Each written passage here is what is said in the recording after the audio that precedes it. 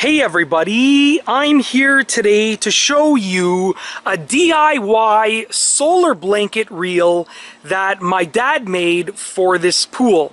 As you can see, it is a solar blanket reel that is made from pipe.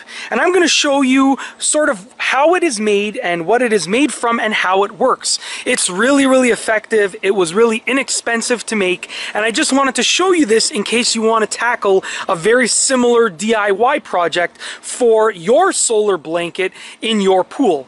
So as you can see right here, this is the solar blanket. Right here, it's on the water. And this is the solar blanket reel. Now, if you take a look right here, you can see that there are these straps. And those straps are connected to the, this end of the solar blanket.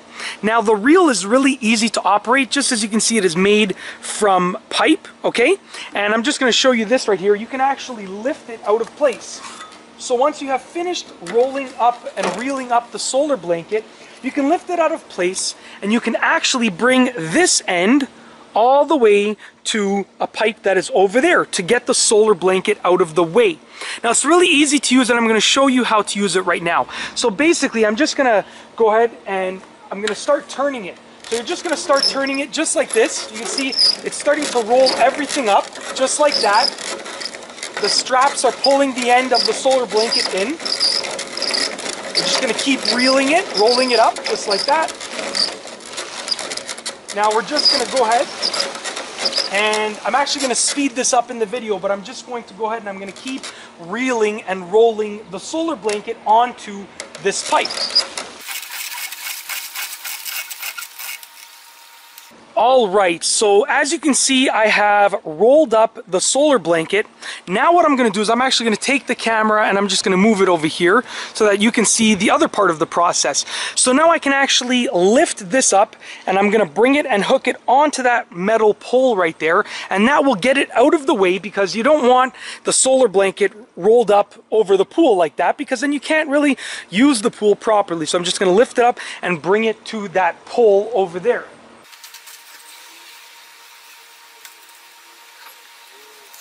All right, so as you can see, the solar blanket is now out of the way. And I'm just gonna bring the camera over here just to give you a close-up view of the pipe and, and sort of how it looks and how it works.